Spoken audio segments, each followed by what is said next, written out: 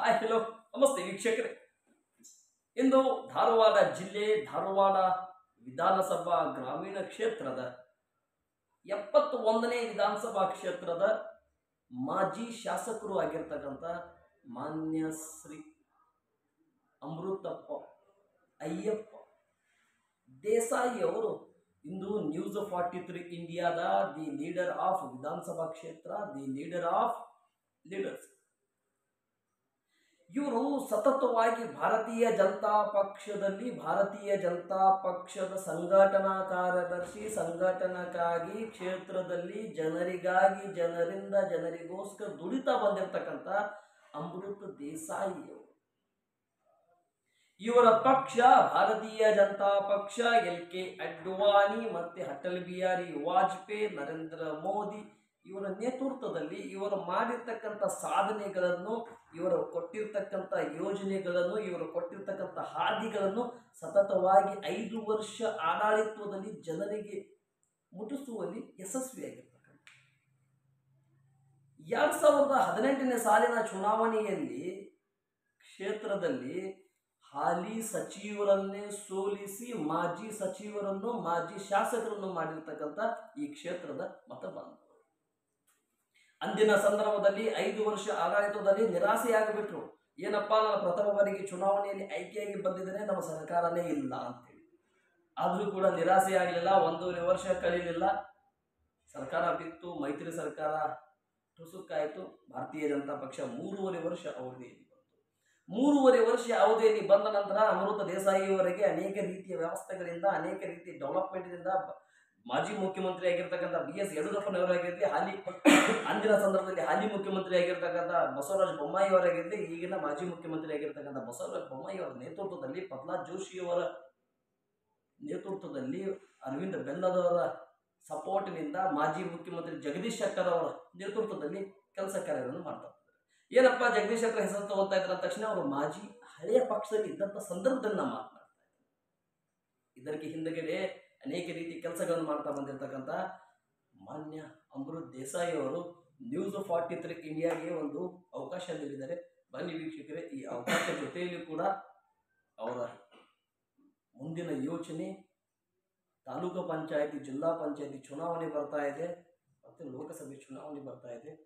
ಈ ಚುನಾವಣೆಯಲ್ಲಿ ಹದಿನೆಂಟು ಸಾವಿರದ ಮೂವತ್ತೇಳು ಮತದಿಂದ ಸೋತಿರ್ತಕ್ಕಂಥ ಅಮೃತ ದೇಸಾಯಿ ಅವರು, ಆದರೆ ಸೋಲಲ್ಲ, ಇದು ಗೆಲುವು ಅನ್ನುವಂಥ ರೀತಿಯಲ್ಲಿ ಮತ್ತೆ ಕ್ಷೇತ್ರದಲ್ಲಿ ಒಡನಾಟ ನಡೆಸ್ತಾ ಇದ್ದಾರೆ. ಏನಿದೆ ಇವರ ವಿಚಾರವನ್ನು ತಿಳಿದುಕೊಂಡು ಬನ್ನಿ ಸರ್ ನಮಸ್ತೆ. ನ್ಯೂಸ್ ಫಾರ್ಟಿ ತ್ರೀ ಇಂಡಿಯಾಗೆ ಅವಕಾಶ ಮಾಡಿಕೊಟ್ಟಿದ್ದಕ್ಕೆ ತುಂಬ ತುಂಬ ಧನ್ಯವಾದಗಳು. ನ್ಯೂಸ್ ಫಾರ್ಟಿ ತ್ರೀ ಇಂಡಿಯಾದ the leader of ward sorry the leader of ವಿಧಾನಸಭಾ ಕ್ಷೇತ್ರದ ಏನು ಸಂದರ್ಶನ ಇದ್ದಾರೆ. ಇದೆ ಇದಕ್ಕೆ ತುಂಬ ತುಂಬ ಧನ್ಯವಾದಗಳು. ಸರ್ ತಮ್ಮ ಮಾತುಗಳನ್ನು ಪ್ರಾರಂಭ ಮಾಡುವ ಪೂರ್ವಕವಾಗಿ ರಾಜಕೀಯ ಜೀವನ ಹೇಗೆ ಪ್ರಾರಂಭ ಮಾಡಿಕೊಂಡ್ರಿ ರಾಜಕೀಯ ಜೀವನ ಅನ್ನೋಕ್ಕೆ ನಮ್ಮ ಮನೆತನದಲ್ಲಿ, ಮನೆತನನೇ ಯಾವಾಗಲೂ ರಾಜಕೀಯದಿಂದ ಬಂದಂತ ಬಂತಾರೆ ನಮ್ಮ ಅಜ್ಜ grand father P A Desai ಎರಡು ಬಾರಿ ಶಾಸಕರಾಗಿದ್ದರು.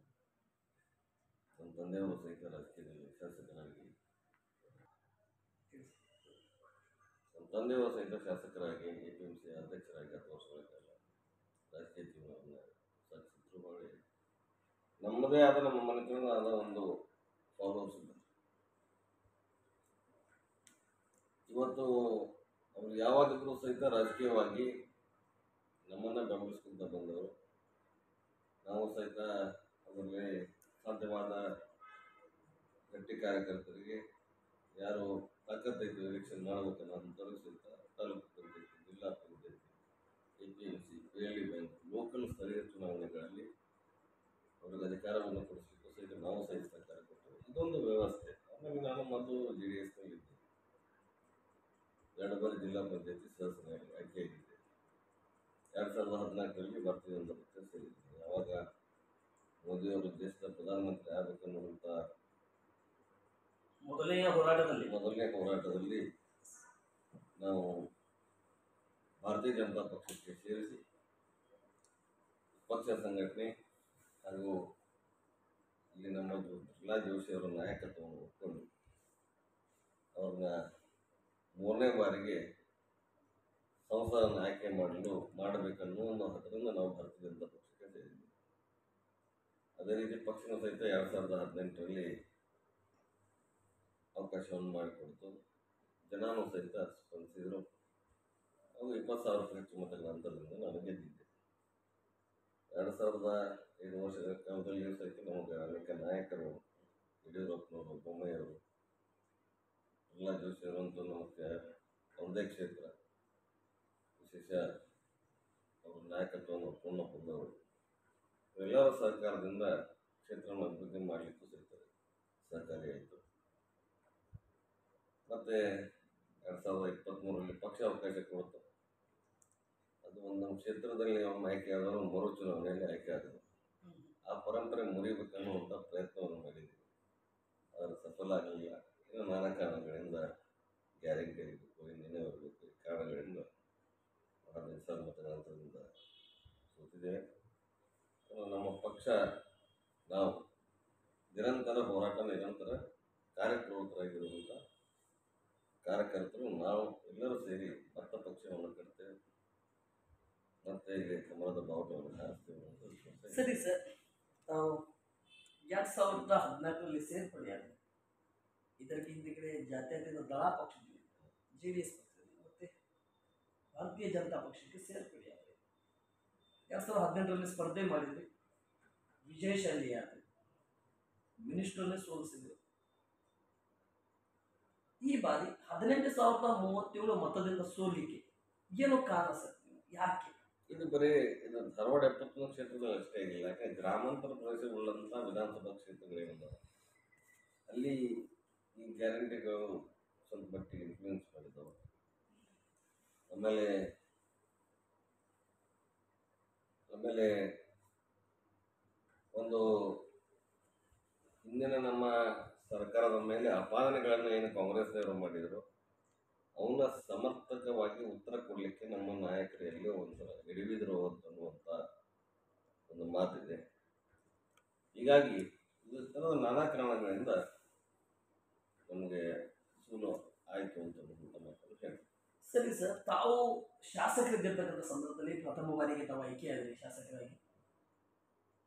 ವಿಧಾನಸಭೆಗೆ ಪ್ರವೇಶ ಮಾಡಿದರೆ ನಿಮ್ಮ ಸರ್ಕಾರ ಇರಲಿಲ್ಲ ನಿರಾಸೆ ಕೊಟ್ಟು ಆದರೆ ಒಂದೂವರೆ ವರ್ಷ ಕಲೀಲಿಲ್ಲ ಮತ್ತೆ ನಿಮ್ಮ ಸರ್ಕಾರ ಆಯಿತು. ಆಗಿರತಕ್ಕಂಥ ಸಂದರ್ಭದಲ್ಲಿ ನಿಮ್ಮ ಕ್ಷೇತ್ರಕ್ಕೆ ಎಪ್ಪತ್ತೊಂದನೇ ವಿಧಾನಸಭಾ ಕ್ಷೇತ್ರಕ್ಕೆ ಯಾವ ರೀತಿ ಡೆವಲಪ್ಮೆಂಟ್ ತರಲು, ಯಾವ್ಯಾವ ರೀತಿ ಯೋಜನೆ ತರಲು ಜನರಿಗೆ ನಿರಾಶೆಗೊಳ್ಳದಂತೆ ಕೆಲಸ ಕಾರ್ಯಗಳನ್ನು ಮಾಡ್ತಾ ಬಂದಿದೆ ಸರ್? ಒಂದು ಹೇಳಿದಾಗೆ ಹದಿನೆಂಟರಲ್ಲಿ ನಾವು ಆಯ್ಕೆ ಆದಮೇಲೆ ಸರ್ಕಾರ ಇರಲಿಲ್ಲ.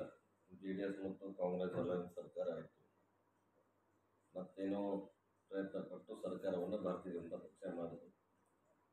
ಅದರ ಆ ಸಮಯ ಏನಿತ್ತು ಯಡಿಯೂರಪ್ಪನವರು ಎರಡು ಸಾವಿರದ ಹತ್ತೊಂಬತ್ತರಲ್ಲಿ ಮುಖ್ಯಮಂತ್ರಿ ಆದರು?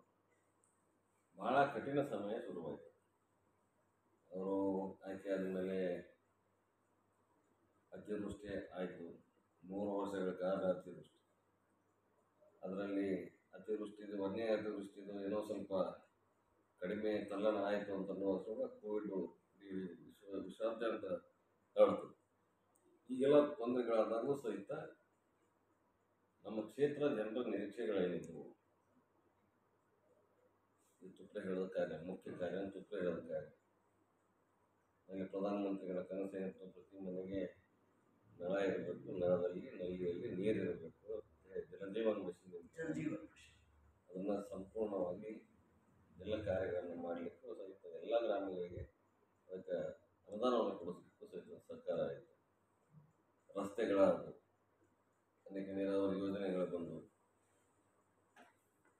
ಯಾಕಂದರೆ ಈ ಭಾಗದಾಗ ತುಪ್ಪೇಳುವಂದ ನಮ್ಗೆ ಜಲಸಂಪನ್ಮೂಲ ತುಪ್ಪೇಳದ್ದು ಏನಾಗಿತ್ತು ನಿಮಗೆ ಅತಿವೃಷ್ಟಿ ಆದಮೇಲೆ ತುಪ್ಪೇಹಳ್ಳದ ದಡದಲ್ಲಿರುವಂಥ ಗ್ರಾಮಗಳು ಹೊಲಗಳು ಅತಿವೃಷ್ಟಿಯಿಂದ ಸಾಕಷ್ಟು ವಿಚಾರಿಸ್ತಿತ್ತು ಅದರಿಂದ ಆ ನೀರು ಹರಿದು ವ್ಯರ್ಥವಾಗಿ ಮುಂದೆ ಮಲಪ್ರಭಾ ಬೆಣ್ಣೆಹಳ್ಳ ಕೂಡ ಅದು ಮಲಪ್ರಭಾ ನದಿಗೆ ಹೋಗ್ತದೆ ಅದನ್ನು ನಾವೊಂದು ಮನವಿ ಮಾಡ್ಕೊಂಡಿದ್ವಿ ಯಡಿಯೂರಪ್ಪನವರು ಎಲ್ಲ ಫ್ಲಡ್ ಕಂಟ್ರೋಲ್ ಆ್ಯಂಡ್ ಇರಿಗೇಷನ್ ಸ್ಕೀಮಿಗೆ ನಮ್ಗೆ ದುಡ್ಡು ಕೊಡ್ರಿ ಅದನ್ನು ಅವ್ರು ಅಪ್ರೂವ್ ಮಾಡಿ ಹೋದ್ರೆ ಬೊಮ್ಮಾಯಿ ಬಂದಮೇಲೆ ಅದು ದುಡ್ಡು.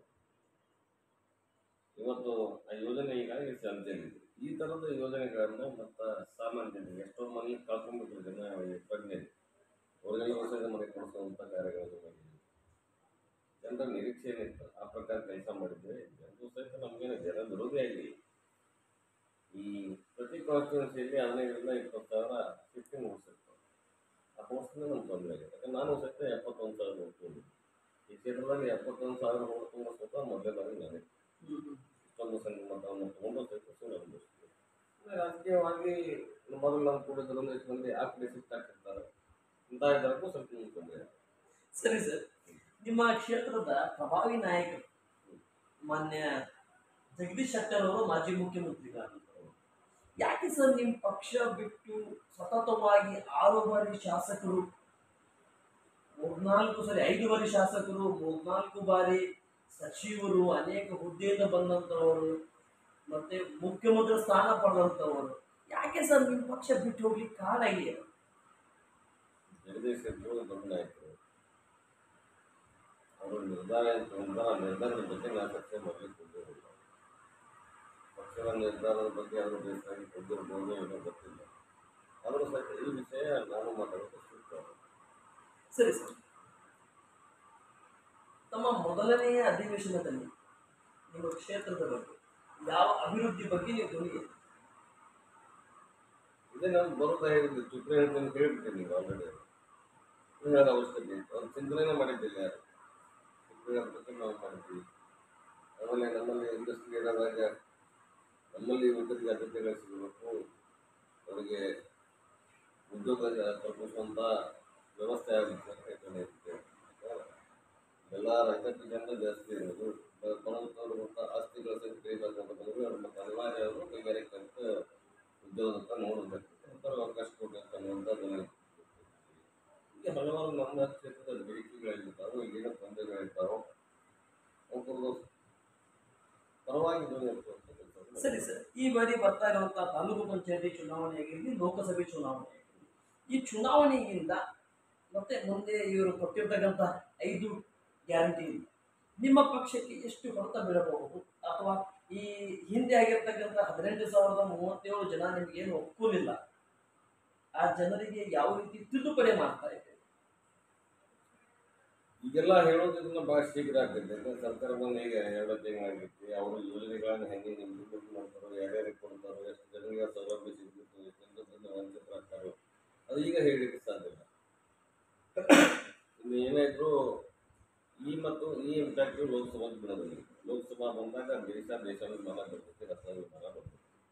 ಅಂದ್ರೆ ತಾಲೂಕು ಪಂಚಾಯತಿ, ಜಿಲ್ಲಾ ಪಂಚಾಯತ್ ಅಂತ ಬಂದಾಗ ಅಲ್ಲಿ ಪಕ್ಷದ್ದು ಬರೀ ಇಪ್ಪತ್ತು, ಇಪ್ಪತ್ತೈದು ಪರ್ಸೆಂಟ್ ಅಷ್ಟೇ ಕೆಲಸ ಎಪ್ಪತ್ತೈದು ಪರ್ಸೆಂಟ್ ವ್ಯಕ್ತಿಗತವಾಗಿ ಹೋಗ್ತದೆ ನಮ್ಮ ಪಕ್ಷದಲ್ಲಿ ಸಹಿತ ಒಳ್ಳೆ ಕಾರ್ಯಕರ್ತರಿದ್ದಾರೆ ನಾಯಕರುಗಳಿದ್ದಾರೆ ಅಂಥವ್ರನ್ನ ಗಮನಿಸಿ ಅವತ್ತಿನ ರಿಸರ್ವೇಷನ್ಸ್ ಏನಿತ್ತು ಅದನ್ನು ಗಮನಿಸಿ ಅಂತರ್ಜವನ್ನು ಒಂದು ವ್ಯವಸ್ಥೆ ಕಲ್ಪಿಸುವಂಥ ಕೆಲಸ ಪಕ್ಷ ಮಾಡಬೇಕು ಆಲ್ರೆಡಿ ಕಾಂಗ್ರೆಸ್ನವರು ಐದು ಗ್ಯಾರಂಟಿ ಒಳಗಡೆ ನಾಲ್ಕು ಗ್ಯಾರಂಟಿ ಜಾರಿಗೆ ತಗೊಂಡಿದ್ದಾರೆ ಮೊದಲನೇ ಅದಕ್ಕೆ ನಿಮ್ಗೆ ಹೇಳ್ತೀನಿ ಅವ್ರು ಯೋಜನೆಗಳನ್ನ ಜಾರಿಗೆ ತಂದ್ರೆ ಅದು ಸಂಪೂರ್ಣವಾಗಿ ಸಫಲ ಆದಂಗಲ್ಲ.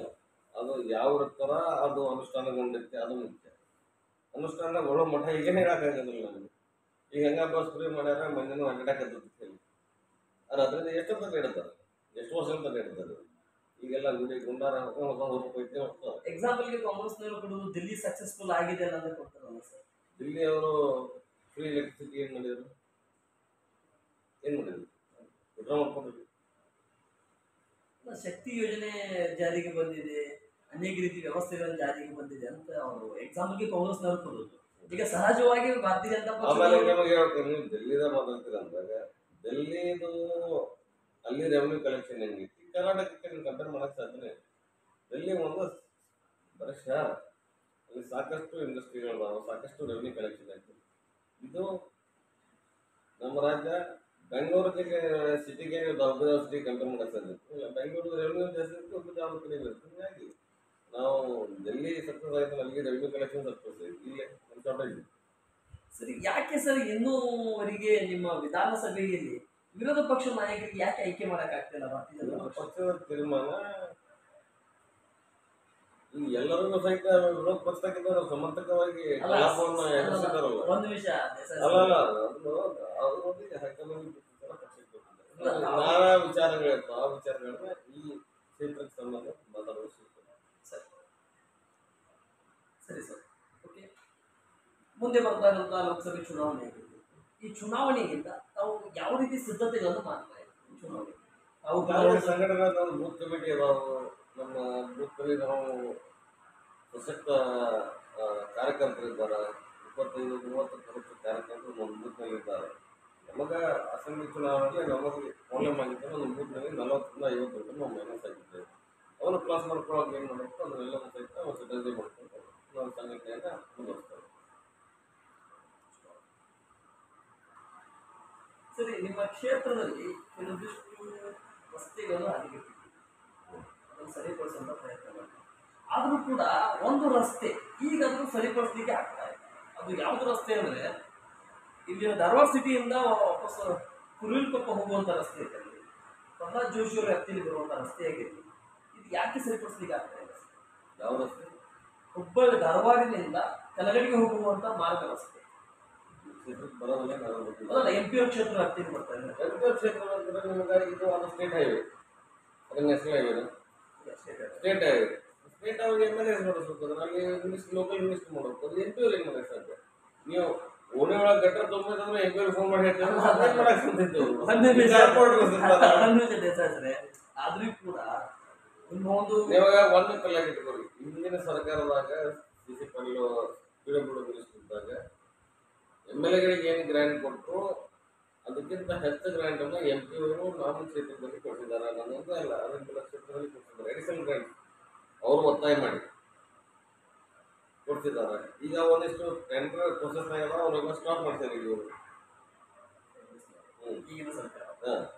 ಈಗ ಬರೀ ನೀವು ಕಲ್ಗಡಿ ರಸ್ತೆ ಒಂದು ಹೇಳ್ತೀರಿ.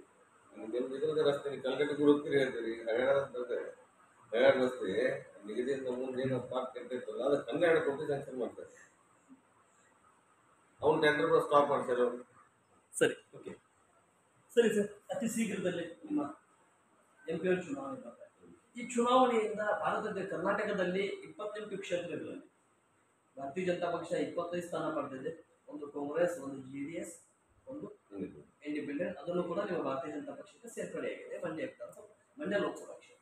ಈ ಬಾರಿ ಎಷ್ಟು ಸೀಟ್ ಗೆಲ್ಲಬಹುದು? ಈ ಗ್ಯಾರಂಟಿಯಿಂದ ನಿಮ್ಗೆ ಏನು ಎಫರ್ಟ್ ಬೀಳ್ಬೋದಾ? ಅಥವಾ ಇದು ಮಸ್ತ್ ಆಗ್ಬೋದಾ ಈ ಗ್ಯಾರಂಟಿಯಿಂದ ಈಗ ನವೆಂಬರ್ದಿಂದ ಇಡೀ ರಾಜ್ಯದಲ್ಲಿ ನಮಗೆ ಮೇಲ್ನೋಟ ಕಾಣ್ತಾ ಇರೋದು ವಾತಾವರಣಗಳು ಬದಲಿ ಆಗ್ತವೆ ಕಾಂಗ್ರೆಸ್ ಬಂದ ಮೇಲೆ ಯಾವ ರೀತಿ ಕೆಲಸ ಕಾರ್ಯಗಳಿಗೆ ನಡೆದಾವ ಯಾವ ರೀತಿ ಬೆಂಕಿ ಹಚ್ಚತಂತ ಕಾಂಗ್ರೆಸ್ ಅವರು ಮಾಡಕತ್ತಾರ ನೋಡಿರ್ತಾರೆ ಜನ ರೋಸಿ ಹೋಗಿದ್ದಾರೆ. ನಮ್ಗೆ ವಿಶ್ವಾಸ ಐತಿ ನಾವು ಹದಿನೆಂಟರಿಂದ ಇಪ್ಪತ್ತು ಸೀಟ್ ಅಂತ ಗೆದ್ದೆ ಯಾಕೆ ಸರ್ ಇಪ್ಪತ್ತೈದು ಸೀಟ್ ಪಡೆದಂತ ಭಾರತೀಯ ಜನತಾ ಪಕ್ಷ ರಿಪೀಟ್ ಯಾಕೆ ಹಿಂದಗಡೆ ಬರ್ತಾ ಇದೆ? ರಿಪೀಟ್ ಹಿಂದುಗಡೆ ಅಂತಲ್ಲ ಇದು ನೋಡ್ರಿ ನಾನು ನನ್ನ ತಿಳುವಳಿಕೆಯಲ್ಲಿ ಹೇಳ್ತಾ ಇದ್ದೀನಿ. ನಾನು ಸ್ಟೇಟ್ ಲೀಡರ್ ಅಲ್ಲ ನ್ಯಾಷನಲ್ ಲೀಡರ್ ಅಲ್ಲ. ನಿಮ್ಮ ಒಂದು ಮಾಹಿತಿ ಪ್ರಕಾರ ಮಾಹಿತಿ ಅಲ್ಲ, ನನ್ನ ತಿಳುವಳಿಕೆ ಇಪ್ಪತ್ತು ಸೀಟ್ ಅಂತೂ ಏನೂ ಬಂದಿಲ್ಲ. ಮ್ಯಾಕ್ಸಿಮಮ್ ಆಮೇಲೆ ಅವೆಲ್ಲ ಕ್ಲೋಸ್ ಮಾಡಿ ಸೀಟ್ಸ್ ಏನಿದಾವಲ್ಲ ಅವು ಇನ್ನು ಟ್ರೆಂಡ್ ಮೇಲೆ ಹೋಗ್ತಿದ್ದ ಲಾಸ್ಟಿಗೆ ಐದು ಸಾವಿರ ಆರು ಸಾವಿರದಲ್ಲಿ ಎಂ ಪಿ ಆದರೂ ಅವನ್ನೆಲ್ಲ ನಾವು ಈಗ ಇಲ್ಲ. ನಮ್ಮ ಧಾರವಾಡ ಜೋಶಿ ಗೆಲ್ತಾರೆ ಹಾವೇರಿ ಗೆಲ್ತಾರೆ ಬೆಳಗಾವಿ ಗೆಲ್ತಾರೆ ಚಿಕ್ಕೋಡಿ ಗೆಲ್ಬೋದು ಎಲ್ಲ ಇವೆಲ್ಲ ಬಿ ಜೆ ಪರವಾಗಿರುವಂಥ ಕ್ಷೇತ್ರಗಳು. ಅಂತ ಈ ಅಸೆಂಬ್ಲಿಗೆ ಅದಕ್ಕೆ ಬ್ಯಾಟ್ರಿ ಥ್ಯಾಂಕ್ ಯು ಕೊನೆಯದಾಗಿ ನ್ಯೂಸ್ ಫಾರ್ಟಿ ತ್ರೀ ಇಂಡಿಯಾ ಮುಖಾಂತರ ಸಮಯ ನೀಡಿದ್ದು ತುಂಬ ತುಂಬ ಧನ್ಯವಾದಗಳು. ಕೊನೆಯದಾಗಿ ನಿಮ್ಮ ಲೋಕಸಭೆ ವಿಧ ಲೋಕಸಭೆ ವ್ಯಾಪ್ತಿಯಲ್ಲಿ ಬರುವಂತಹ ಎಂಟು ವಿಧಾನಸಭಾ ಕ್ಷೇತ್ರದ ಮತಬಾಂಧವರಿಗೆ ಮತ್ತು ನಿಮ್ಮ ವಿಧಾನಸಭಾ ಕ್ಷೇತ್ರದ ಜನತೆಗೆ ಏನು ಹೇಳಕ್ಕೆ ಇಷ್ಟಪಡ್ತಾರೆ ಈಗಾಗಲೇ ಹತ್ತೊಂಬತ್ತು ವರ್ಷಗಳ ಕಾಲ ಒಬ್ಬ ಲೋಕಸಭಾ ಸದಸ್ಯರಾಗಿ ಕೇಂದ್ರ ಸಚಿವರಾಗಿ ಅದರಲ್ಲಿ ಮೊದಲನೇ ಬಾರಿ ಎರಡನೇ ಬಾರಿ ಆಯ್ಕೆ ಆದಾಗ ವಿರೋಧ ಪಕ್ಷದಲ್ಲಿತ್ತು ಮೂರನೇ ಬಾರಿಗೆ ಆಡಳಿತ ಪಕ್ಷದಲ್ಲಿ ಬಂದರು. ನಾಲ್ಕನೇ ಬಾರಿಗೆ ಮೋದಿ ಅವರ ನಾಯಕತ್ವದ ಕ್ಯಾಬಿನೆಟ್ ಹೋಗಿ ಒಂದು ಉನ್ನತ ಸಚಿವ ಸ್ಥಾನವನ್ನು ಜನತೆ ಆಶೀರ್ವಾದದಿಂದ ಪಡೆದು ಪ್ರಾಮಾಣಿಕ ಈ ಕ್ಷೇತ್ರದ ಸೇವೆಯನ್ನು ಮಾಡಿದ್ದಾರೆ ಇವತ್ತು ಇಷ್ಟೊಂದು ನ್ಯಾಷನಲ್ ಹೈವೇಸ್ ಇರ್ಬೋದು ಬೈಪಾಸ್ ಇರ್ಬೋದು ಈಗ ರಸ್ತೆ ತಯಾರು ಮಾಡ್ತಾ ಇದ್ದಾರೆ ಹುಬ್ಬಳ್ಳಿ ಇವತ್ತು. ಮತ್ತು ಹುಬ್ಬಳ್ಳಿಯಲ್ಲಿ ರಿಂಗ್ ರೋಡ್ ಮಾಡಿದ್ದಾರೆ, ಗದಗ ಮತ್ತು ಕಾರವಾರ ರೋಡ್ ಲಿಂಕ್ ಆಗುವಂಥ ಲಿಂಕಿಂಗ್ ರೋಡ್ ಮಾಡಿದ್ದಾರೆ. ಒಂದು ದೂರದೃಷ್ಟಿಯನ್ನು ಇಟ್ಟುಕೊಂಡು ಕೆಲಸ ಮಾಡುವಂಥ ನಾಯಕ ಪ್ರಹ್ಲಾದ್ ಜೋಶಿ. ಸೊ ಜನರು ಸಹಿತ ನೇರವಾಗಿ ಸಿಗುವಂಥ ಸಂಸದ ಯಾರ್ಯಾರು ಇದ್ರೆ ಈ ಕ್ಷೇತ್ರದ ಇತಿಹಾಸದಲ್ಲಿ ಗ್ರಾಮ ಪಂಚಾಯತಿ ಸದಸ್ಯನಾಗಿ ಕೆಲಸ ಮಾಡುವಂಥ ಯಾರು ಇದ್ರೆ ಅದು ಜನರ ಜೊತೆಗೆ ನೇರ ಸಂಪರ್ಕ ಇದೆ. ಜನರ ಜೊತೆಗೆ ನೇರ ಒಡನಾಟ ಇದೆ. ಯಾರೇ ಫೋನ್ ಮಾಡಿದ್ರು ಅವ್ರು ಮೀಟಿಂಗ್ನಾಗ ಇದ್ರು ಸಹಿತ ರಾತ್ರಿ ಹನ್ನೆರಡು ಆಗಲಿ ವಾಪಸ್ ಫೋನ್ ಮಾಡಿ ಅವರು ಕಷ್ಟ ಕಾರ್ಪಣ್ಯಗಳನ್ನು ವಿಚಾರಿಸುವಂಥ ವ್ಯಕ್ತಿತ್ವ ಸೊ ಹೀಗಾಗಿ ಮತ್ತೆ ಐದನೇ ಬಾರಿಗೆ ಪ್ರಹ್ಲಾದ್ ಜೋಶಿ ಅವರನ್ನ ಈ ಕ್ಷೇತ್ರದಿಂದ ಆಯ್ಕೆ ಮಾಡಲಿಕ್ಕೆ ಎಲ್ಲರೂ ಸಹಿತ ನಾವು ಶ್ರಮಿಸೋಣ ಅಂತ ಅನ್ನುವಂಥ ಮಾತನ್ನು ಸಂದರ್ಭದಲ್ಲಿ ಹೇಳಬೇಕು. ತುಂಬ ತುಂಬ ಧನ್ಯವಾದಗಳು. ನಮಸ್ತೆ. ಜೈ ಹಿಂದ್. ವೀಕ್ಷಕರೇ ಗಮನಿಸೋದಲ್ಲ ಎಷ್ಟೊತ್ತು ಎಪ್ಪತ್ತ ಒಂದನೆಯ ವಿಧಾನಸಭಾ ಕ್ಷೇತ್ರದ ಮಾಜಿ ಶಾಸಕರಾಗಿರ್ತಕ್ಕಂಥ ಅಮೃತಪ್ಪ ಅಯ್ಯಪ್ಪ ದೇಸಾಯಿಯವರ ಸಾರಿ ಅಮೃತಯ್ಯ ದೇಸಾಯಿ ಅಯ್ಯಪ್ಪ ದೇಸಾಯಿಯವರ ವಿಚಾರಗಳನ್ನು ಮತ್ತು ಅವರ ಇದಿಷ್ಟು ಮಾಹಿತಿಗಳನ್ನು. ಮಾತು ಕಡಿಮೆ ಕೆಲಸ ಜಾಸ್ತಿ. ಸಂದರ್ಶನ ಮುಖಾಂತರದಿಂದ ಪಬ್ಲಿಸಿಟಿಗೆ ಮುಂದೆ ಬರುವಂಥ ವ್ಯಕ್ತಿ ನಾನಲ್ಲ. ಕೆಲಸ ಮಾಡಿ ತೋರಿಸಿರ್ತಕ್ಕಂಥ ವ್ಯಕ್ತಿ ನಾನು ಮುಂದಿನ ದಿನಮಾನಗಳಲ್ಲಿ ಕೂಡ ನಾನು ಪಬ್ಲಿಕ್ ಸಿಟಿ ಅವಶ್ಯಕತೆ ಇಲ್ಲ, ಮತದಾರರು ನನಗೆ ಬಹು ನಿರೀಕ್ಷಿತವಾಗಿ ಅವಶ್ಯಕತೆ. ಮತದಾರ ತೀರ್ಪೇ ನನ್ನ ದೇವರ ತೀರ್ಪು ಅಂತ ಅನ್ಕೊಂಡಿದ್ದೇನೆ. ಹದಿನೆಂಟು ಸಾವಿರದ ಹದಿನೆಂಟು ಸಾವಿರದ ಮೂವತ್ತೇಳು ಮತಗಳಿಂದ ನನಗೇನು ಸೋಮಿಸಿದರೆ ನಾನು ಏನಾದರೂ ಅಲ್ಪ ಸ್ವಲ್ಪ ತಪ್ಪು ಮಾಡಿರಬಹುದು ಆ ತಪ್ಪು ತಿದ್ದುಪಡಿಗೆ. ಎರಡ್ ಸಾವಿರದ ಇಪ್ಪತ್ತೆಂಟನೇ ಸಾಲದಲ್ಲಿ ಮತ್ತೆ ನಾನು ಅವಕಾಶ ಪಡೀತೇನೆ. ಧಾರವಾಡ ಜಿಲ್ಲೆ, ಧಾರವಾಡ ಗ್ರಾಮೀಣದಲ್ಲಿ ಬರುವಂಥ ವಿಧಾನಸಭಾ ಕ್ಷೇತ್ರದಲ್ಲಿ ಅತಿ ಹೆಚ್ಚು ಡೆವಲಪ್ಮೆಂಟ್ಗೆ ಪಾತ್ರ ವಹಿಸ್ತೇನೆ, ಅತಿ ಹೆಚ್ಚು ಡೆವಲಪ್ಮೆಂಟ್ಗೆ ಮುನ್ನೆಲೆ ಬರ್ತೇನೆ, ಅತಿ ಹೆಚ್ಚು ಡೆವಲಪ್ಮೆಂಟ್ ಇಂದ ಮುಂದೆ ಸಾಗ್ತಾ ಇರ್ತೇನೆ. ಕ್ಷೇತ್ರ ಜನತೆ ಬಗ್ಗೆ ಕಾಳಜಿ, ಕ್ಷೇತ್ರ ಜನತೆ ಬಗ್ಗೆ ಹಿತದೃಷ್ಟಿ ವಹಿಸಿರ್ತಕ್ಕಂಥ ದೇಸಾಯಿಗಳು ಏನಾಗಬಹುದು ಅನ್ನೋದೇ ಮುಂದೆ ನೋಡಬೇಕಾಗಿದೆ. ಲೋಕಸಭೆಯ ಮುಂದಿನ ಪಾತ್ರದೊಂದಿಗೆ ಮತ್ತೆ ಭೇಟಿ ಆಗ್ತೇನೆ ಅಲ್ಲಿ ನೋಡ್ತಾ ಇರಿ ನ್ಯೂಸ್ ಫಾರ್ಟಿ ಇಂಡಿಯಾ ಜೈ